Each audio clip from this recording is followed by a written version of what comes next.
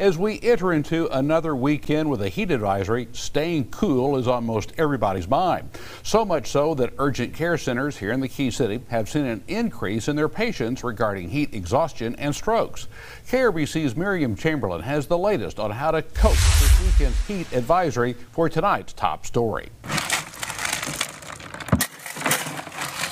It's not easy on a hot day like today to be out working. Just to try to maintain, you know, some some sense of being cool during during these times because it, it is rough. And for this one West Texas Pride Lawn Care crew, you can tell we're about halfway through the day, so staying cool is a top priority. The long sleeves basically repels the sun, keeps the sun off the skin and the more that you can keep the sun away from the skin, the cooler your body will stay longer. Ronald Quinney says during this time of year, is typically growing season, but most customers don't want to bear the heat themselves, which is where they step in. Even with the sleeves and the and the jeans, you've got to be proactive with with plenty of water and, and frequent breaks. Over at My Urgent Care Abilene, medical director Dr. John Turner says they've seen an increase in foot traffic regarding the heat. Moving that person from the heat environment that they're in and putting them in a, a, nice cool environment. Dr. Turner explaining what to do when someone is feeling overheated. Letting them hydrate up with, with fluids,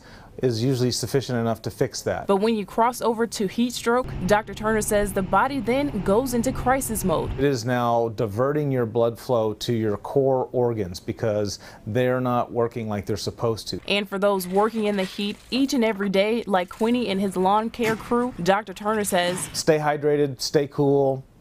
It's the number one thing you can do. In Abilene, Miriam Chamberlain, KRBC, Abilene's local news. Thank you, Miriam. Dr. Turner and Quinney both mentioning drinking plenty of fluids in this kind of weather as well as dressing appropriately. Other suggestions from the National Weather Service include rescheduling strenuous outdoor activities to early morning or evening, check up on relatives and neighbors, and never leave young children and pets unattended in a vehicle.